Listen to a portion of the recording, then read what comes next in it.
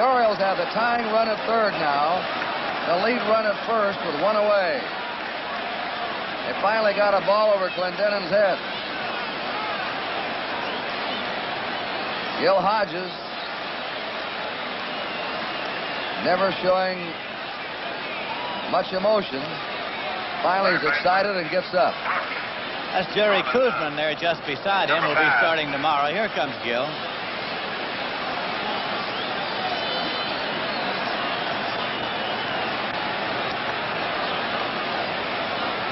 Blair flying out. Frank Robinson single to left. Boog Powell a single to right, sending Robinson to third.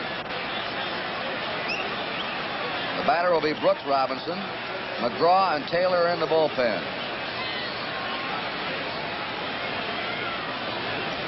Leaving him in. There's Taylor the right-hander, McGraw the left-hander.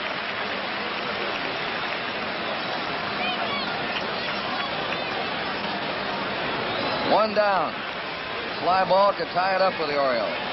Nancy Seaver.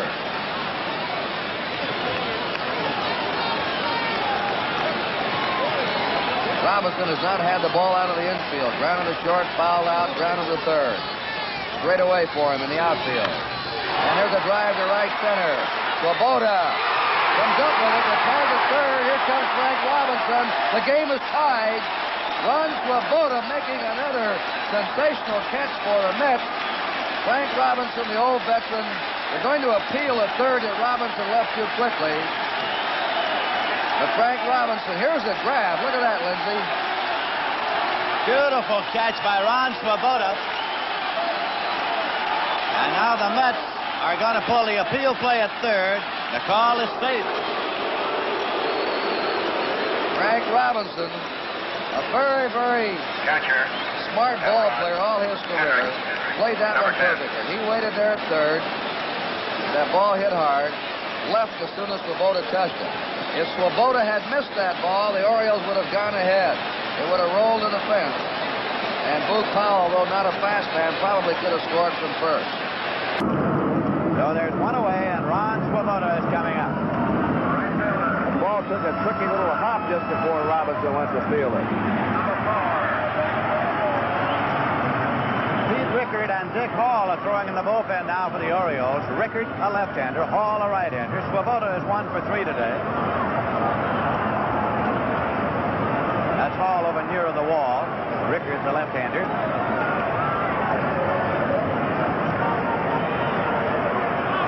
Swoboda has had five hits in this World Series. Nobody has had more.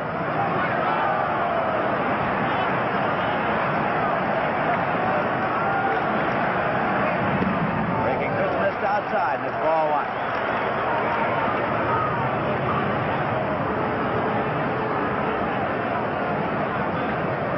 Cleon Jones at second base with one man out.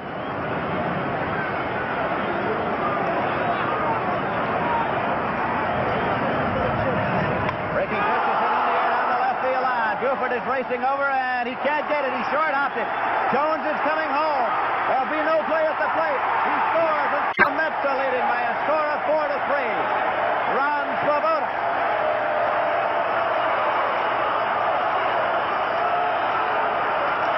Look at it again now. Watch Don Buford. Buford gives us a real try. But can't get to it. Traps it. And desperately throws the ball in and he'll throw to the plate. Here's the swing by Ron Swoboda, who comes up with his second hit of the game. Right in there to him. But the Mets have scored two in the sixth, one in the seventh, and now have gone ahead with one in the eighth. Ron Swoboda was the last base hit, the biggest one you ever got in your life. Well, we've come so far so fast. I, I think nothing, nothing can really be said. You know it, Lindsey. You know it because it brought us here. It was only one of the things. There were so many things. Ron, you find you got the magic glove back. You got it all back. pick it. With me. He can pick it. Can he pick it? There's my And- buddy. and there he is, Rod Gaspar, with a little, uh, a little something for the mayor here, and he's got to return the favor. It's fair enough. Come